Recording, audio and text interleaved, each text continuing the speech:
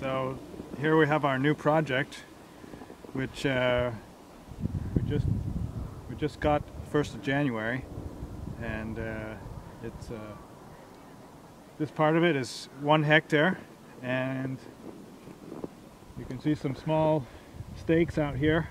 Those are uh, the first nut trees that have been planted. We uh, couldn't wait too long, so we got them in the ground before this snow and ice came. Um, and uh, the idea behind the project is to uh, do a bit of agroforestry, alley cropping. And here we have on the uh, on this side, on the north side of the project, is uh, will be a nut orchard. So it's uh, primarily chestnuts, but also walnuts and heart nuts. Uh, there'll also be some hazel in there. And then on the uh, on the south side of the of the project, there'll be uh, rows of, of mixed fruit um, with a large distance, so there'll be alley cropping between. And uh,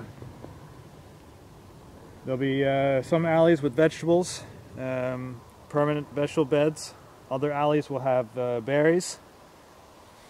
And uh, at the moment, it's, uh, it's just a pasture. And uh, it'll be really fun to change it into a, a young agroforestry project.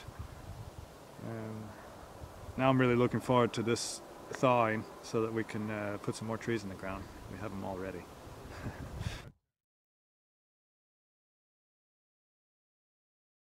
it's a small piece of land uh, compared to many other sizes, but um, we have big plans for even the small plot. Just finished marking some of the uh, tree rows that is going to be on our new agroforestry project here. And uh, the first part is uh, direct north-south rows and this side, because of this slope here, um, we've decided to design it so that the tree rows are more on contour, uh, working a little bit with keyline design. And, and so the water that's flowing down this hill will be caught and captured in the soil rather than run down into this valley over here. So uh, we're uh, measuring out, it's the first measurements, and uh, it's really, really exciting. What you see in the background here is a grass field, grassland, and then in the background there's a, a conventionally um, plowed and uh, grown uh, cornfield. We're gonna uh, have that as our neighbor, uh, and there won't be anything to do about that. It's a, um, a field that's sprayed um, with uh, pesticides.